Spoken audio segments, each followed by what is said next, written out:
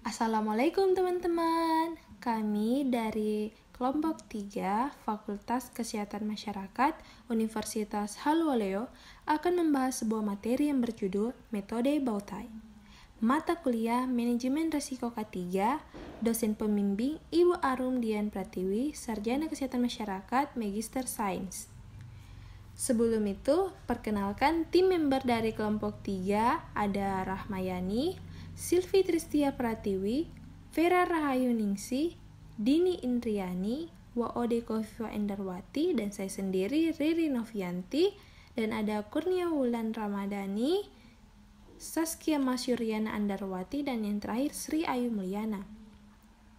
Baik, subtopik yang kita bahas pada materi kali ini, yang pertama ada definisi bowtie, kedua, manfaat bowtie, ketiga, langkah-langkah membuat diagram bowtie, keempat, langkah-langkah bowtie analisis, kelima, contoh diagram bowtie, keenam, proses analisis bowtie, dan yang terakhir, review jurnal. Sebelum kita masuk ke materi, jangan lupa like dan subscribe. Selamat menyaksikan. Apa itu bow Bow tie analysis merupakan analisa menggunakan diagram yang menyerupai bentuk dasi kupu-kupu yang menyatakan hubungan antara skenario bahaya, ancaman, kendali, dan dampak. Bow tie analysis dimulai dari titik pusat atau simpul yaitu top event yang merupakan kejadian dari pelepasan bahaya. Lalu kemudian langkah selanjutnya adalah menentukan penyebab dan konsekuensi dari kejadian tersebut. Lalu kemudian mencari tindakan pengendalian atau hambatan yang dapat mengurangi kemungkinan kejadian atau kontrol preventif serta untuk mengurangi keparahan konsekuensi kejadian tersebut atau kontrol mitigasi. Metode ini sering dianggap sebagai kombinasi dari metode pohon kesalahan atau fault tree analysis yang menganalisa penyebab peristiwa atau event tree analysis yang menganalisa dampak. Sedangkan bow tie lebih berfokus kepada barrier atau penghambat serta antara risiko dan dampak. Menurut Lewis tahun 2010, top event terjadi akibat pelepasan bahaya atau when the hazard is released dan akibat kehilangan kontrol atau when the control is lost.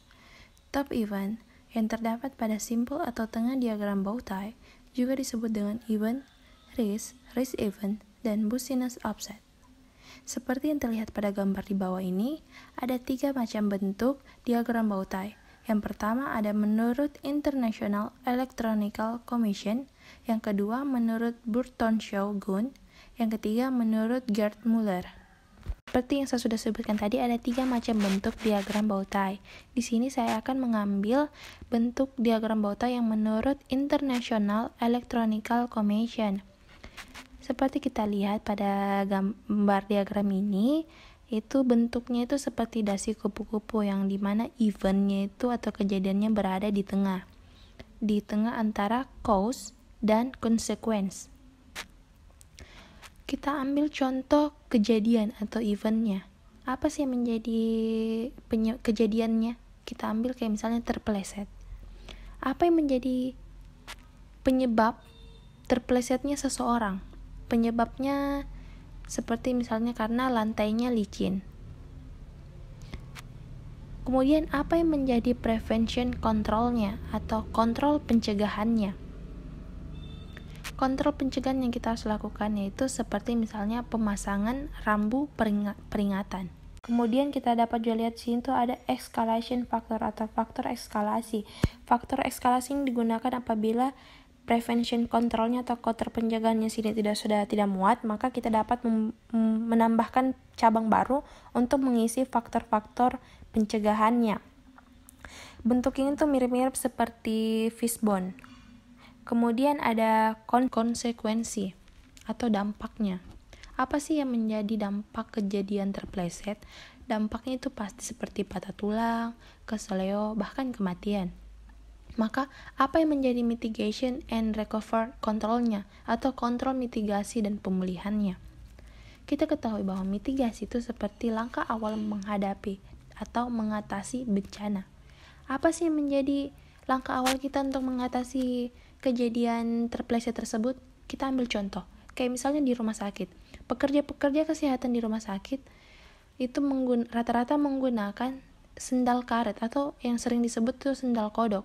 Itu merupakan langkah awal untuk melakukan pencegahan atau kejadian terpleset. Manfaat menggunakan metode boto analisis. Boto analisis digunakan dalam berbagai industri karena memiliki beberapa manfaat antara lain yang pertama, sangat efektif untuk analisis proses hazard awal. Kedua, mengidentifikasi high probability and high consequence event. Ketiga, aplikasi gabungan dari FTA dan ETA. Keempat, representasi penyebab peristiwa skenario berbahaya, kemungkinan hasil, dan langkah-langkah untuk mencegah, mengurangi, atau mengontrol bahaya. Kelima, pengamanan atau hambatan atau kendali diidentifikasi dan dievaluasi. Langkah-langkah dalam membuat diagram bowtie Yang pertama, identify the bowtie hazard. The bowtie hazard terdiri dari dua item, yaitu bahaya atau hazard dan event yang akan terjadi.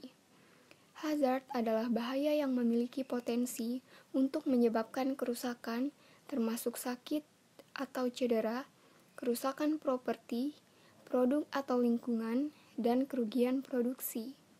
Sedangkan event adalah kejadian yang tidak diinginkan yang merupakan akhir dari FTA dan awal dari ETA. Event biasanya disebut dengan the release of the hazard. Yang kedua, Assess the threats. Ancaman berada di sisi paling kiri dari diagram. Ancaman adalah sesuatu yang berpotensi akan menyebabkan pelepasan dari bahaya yang telah diidentifikasi. Yang ketiga, assess the consequences. Konsekuensi berada di sisi paling kanan dari diagram. Konsekuensi adalah dampak dari pelepasan bahaya. Yang keempat, control. Kontrol adalah ukuran pelindung atau kendali yang diberlakukan untuk mencegah ancaman dari melepaskan bahaya. Pada diagram bowtie, mereka duduk di antara threats dan top event. Yang kelima, recover. The recovery controls duduk di antara top event dan consequence. Recovery controls adalah teknik operasional, dan organisasi yang membatasi konsekuensi yang timbul dari event. Yang keenam, identify threats to the controls. Threats to the controls adalah kondisi yang menyebabkan peningkatan risiko akibat pelepasan bahaya dari kontrol. Yang ketujuh, identify the controls for the threats to the controls. Controls for the threats to the controls harus diletakkan di tempat untuk memastikan bahwa ancaman terhadap kontrol tidak menyebabkan kontrol tersebut gagal. Langkah-langkah bowtie analysis itu ada tujuh. Yang pertama, mengidentifikasi hazard dan top event. Hazard merupakan sumber, situasi, tindakan yang berpotensi menciderai manusia atau menyebabkan sakit dan penyakit. Dengan demikian, bahaya atau hazard merupakan suatu keadaan yang memiliki potensi untuk menyebabkan kerusakan, termasuk sakit dan cedera, kerusakan properti, produk atau lingkungan, dan kerugian produksi. Sedangkan top event merupakan suatu kejadian pelepasan bahaya di mana kontrol atas hazard itu hilang.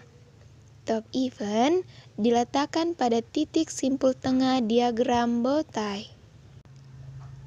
Kedua, mengidentifikasi ancaman atau threat. Ancaman adalah sesuatu yang berpotensi akan menyebabkan top event itu terjadi, baik dari faktor manusianya, mesin, metode, material, maupun lingkungannya. Threat atau ancaman berada di sisi paling kiri dari diagram bow tie. Ya, yang ketiga mengidentifikasi konsekuensi atau consequence. Konsekuensi adalah dampaknya dari top event. Hmm. Untuk consequence itu berada di sisi paling kanan dari diagram bow tie.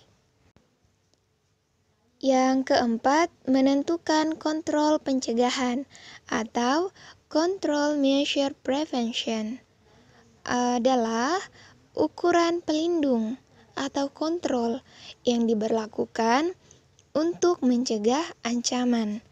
Pada diagram bow tie, control measure prevention berada di antara threat dan top event.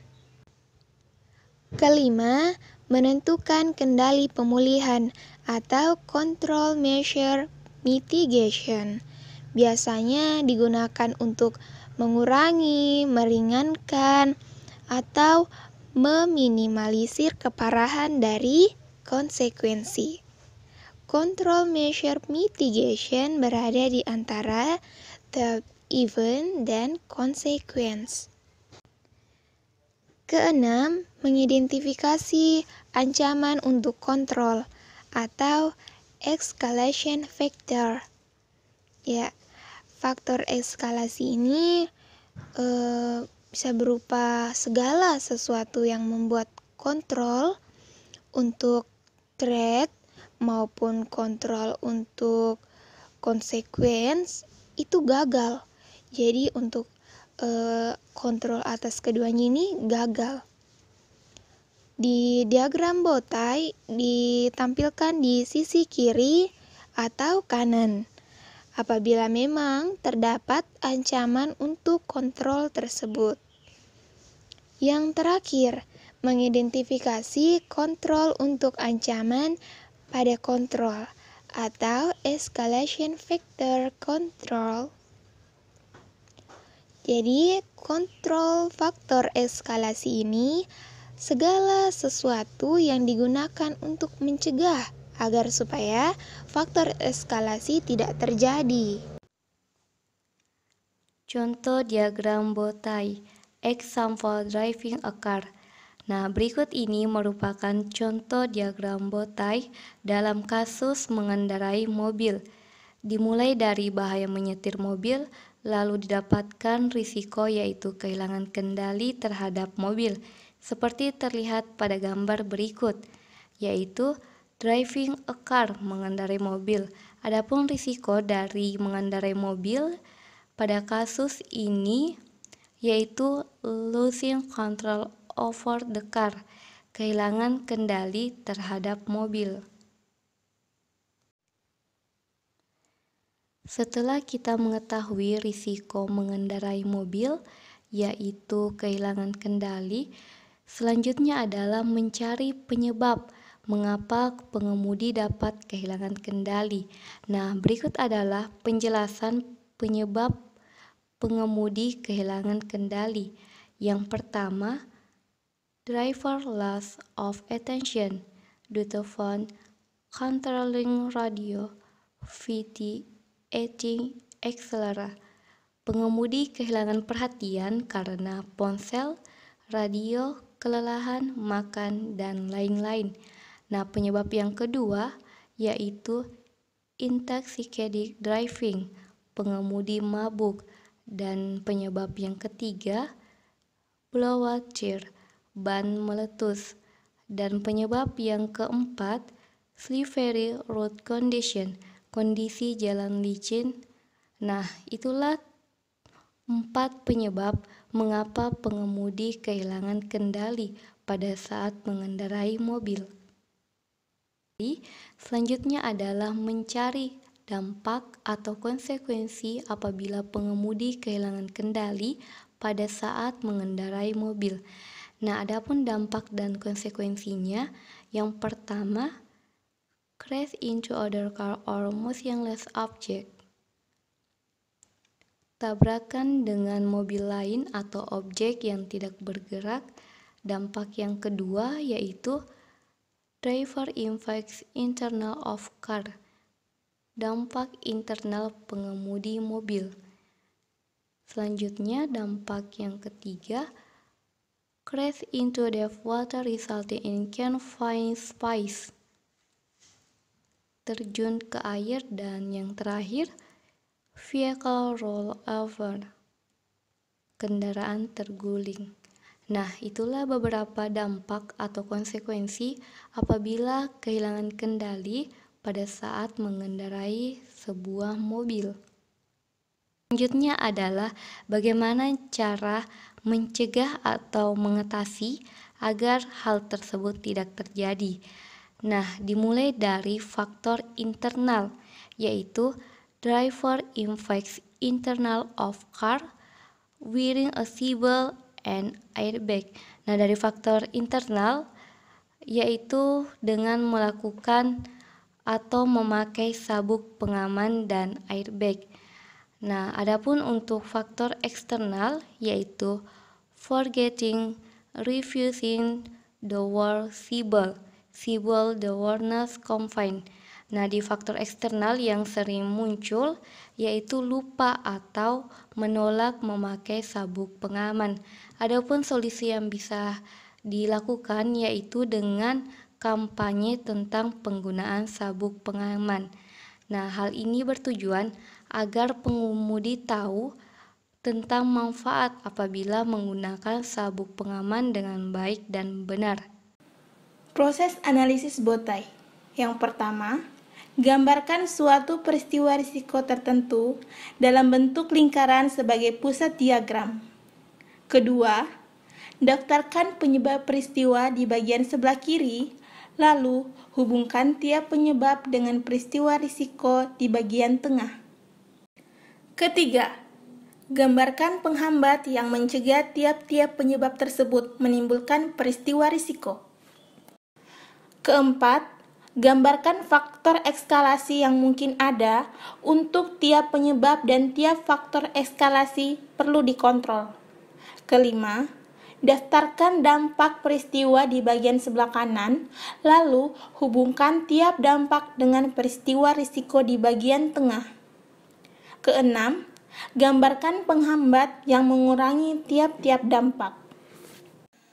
Untuk memperjelas analisis bote, kami mengambil contoh dari sebuah artikel atau jurnal di mana judulnya yaitu Identifikasi bahaya dengan menggunakan metode BOTE untuk keselamatan proses pada boiler UBB di Pabrik 3 PT Petrokimis Gresik. Di mana penulisnya yaitu Dima Rizky Putra Era Jati, Arif Subekti, dan Mades Darul Khairan Syah. Dan yang mereview itu kami dari kelompok 3. Tanggal reviewnya itu pada 9 April tahun 2020.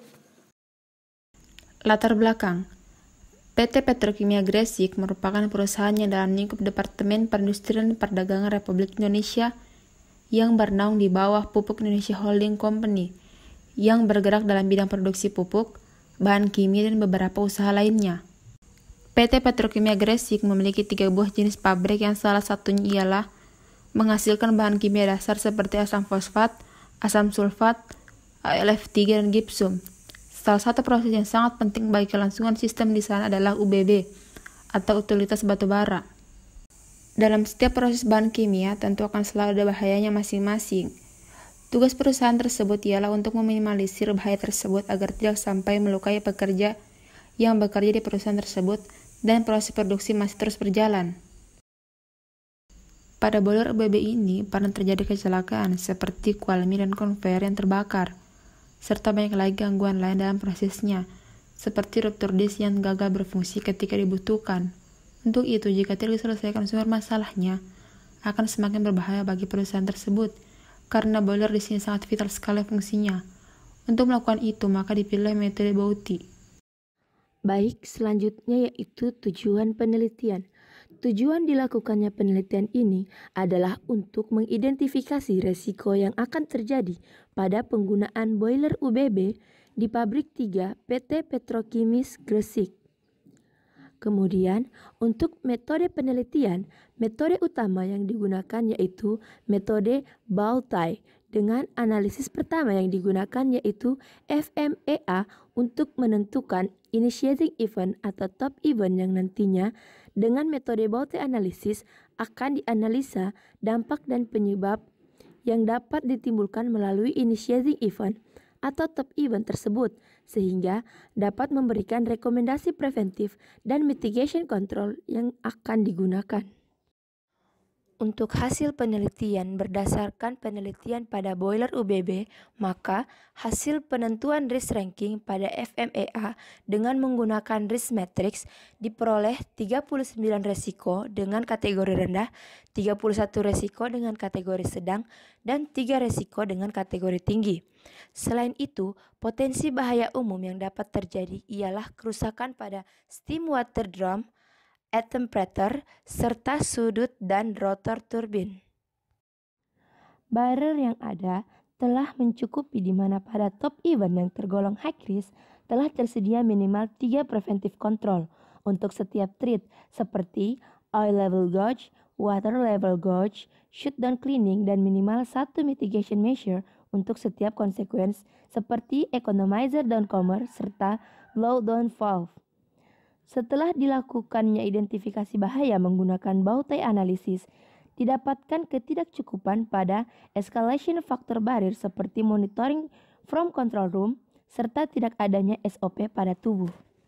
Penggunaan metode seperti yang telah disebutkan sebelumnya, metode utama yang digunakan yaitu metode Bowtie Analysis dengan analisis pertama yang digunakan yaitu FMEA atau Failure Mode Evict Analysis.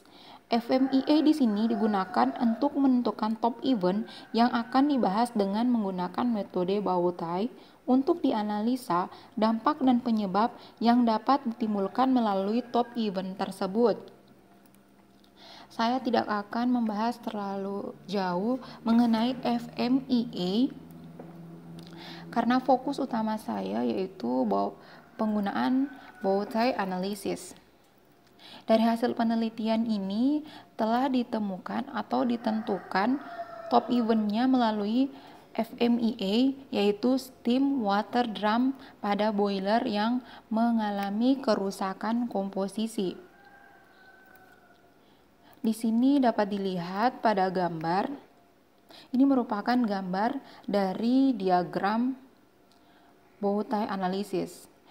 Di tengah-tengahnya terdapat top event yaitu steam and water drum, sedangkan di sebelah kiri, kirinya atau sayap kirinya merupakan street, at, maksud saya treat atau ancaman, dan sebelah kanannya merupakan uh, konsekuensi atau dampak. Pada top event ini terdapat tiga treat. Seperti yang terlihat di gambar, peneliti menentukan tiga treat dari top event tersebut. Treat atau ancaman adalah segala sesuatu yang menjadi penyebab top event terjadi. Treat yang pertama yaitu aliran uap yang tidak memadai dengan barrier atau preventive control. Barrier atau pembatas atau penghambat. Preventive control yaitu untuk mencegah ancaman dalam melepaskan bahayanya. Barrier-barrier tersebut adalah pressure gauge, safety valve, dan shutdown cleaning. Untuk masing-masing preventive control, telah ada barrier untuk escalation factor atau faktor penyebab barrier gagal. Maksudnya adalah segala hal atau faktor-faktor yang, yang dapat menyebabkan barrier itu gagal atau preventive control tersebut gagal. Treat yang kedua adalah aliran air yang tidak memadai dilengkapi juga dengan tiga preventive control yaitu boiler feed water pump, water level gauge, dan perawatan pipa dan telah ada juga escalation faktornya. Di sini kita ambil contoh escalation faktornya perawatan pipa. Bisa bisa jadi pipa mengalami kerusakan apabila tidak adanya perawatan berkala sehingga uh, preventive control perawatan pipa ini menjadi gagal. Treat yang kedua, rusaknya pipa uap utama, dilengkapi dengan tiga preventive control seperti pemeriksaan spesifikasi pada pipa, tes kecacatan pada pipa, dan adanya tes dan inspeksi dari pihak luar. Saya akan menjelaskan sedikit. Jadi untuk penentuan preventif kontrol di sini disesuaikan dengan ancamannya. Jadi anca misalnya kayak ini yang ketiga toh ancamannya itu rusaknya pipa uap utama. Jadi dari kita harus membuatkan preventif kontrol apa saja untuk meminimalisir ancaman tersebut atau penyebab ancaman tersebut. Selanjutnya top event. Top event memiliki konsekuensi. Tadi sudah saya sebutkan konsekuensi di sini yaitu ada di sebelah kanan atau sayap kanan. Di sini juga konsekuensi yang ditentukan ada tiga. Yang pertama, konsekuensi boiler akan mengalami kegagalan produk, yaitu uap basah yang tidak bisa digunakan pada turbin. Dan terdapat mitigating measure-nya. Apabila di trade terdapat preventive control untuk mencegah ancaman, di konsekuensi terdapat mitigating measure untuk langkah mitigasi. Jadi langkah mitigasi ini digunakan untuk meminimalisir konsekuensi seperti yang untuk konsekuensi pertama down comer dan blow down valve dan masih ada barrier untuk escalation factor atau faktor menyebab barrier. Faktor yang menyebab barrier gagal ini sama penentuannya atau kegunaannya dengan treat dengan treat. Yang kedua overhead uh, mitigating measure-nya seperti economizer, vent valve, dan BVW pump dan sudah ada barriernya juga atau escalation faktornya. Begitu juga dengan overpressure atau dan mitigating measure-nya seperti safety valve, valve venting, steam drum, pressure indicator atau flow meter.